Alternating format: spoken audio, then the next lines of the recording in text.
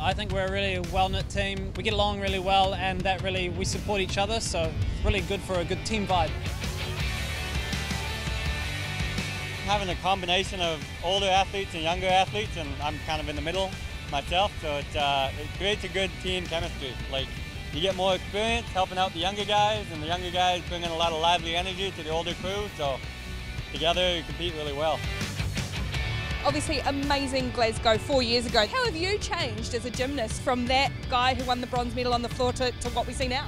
Yeah, it's a completely different experience this time around. Um, I've changed a lot since then. Uh, my mind is kind of, uh, I guess, more matured in a way, and uh, I'm much more relaxed this time around. Last time around, it was everything was a big deal. This time around, much more relaxed, which is, I think, a good thing. Yeah.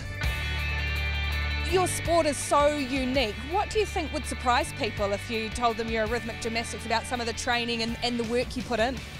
Some people think it's just like a whole bunch of ribbon dancing, but it's definitely not. I think everyone's surprised when I tell them I train like over 36 hours a week. It's they're taken aback by that. Definitely a lot of excitement and pride for New Zealand, representing my country. Uh, a little bit of nerves, but mostly excited.